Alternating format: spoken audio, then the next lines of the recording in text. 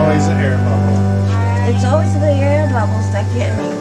Sometimes you can pop it, sometimes you gotta cut it off.